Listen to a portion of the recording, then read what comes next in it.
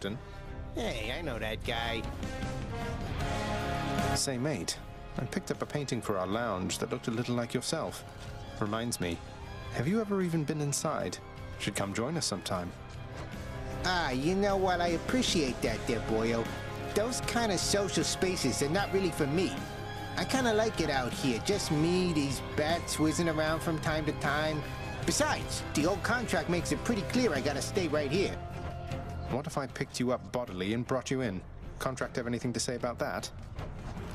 Yeah, no, that definitely wouldn't fly.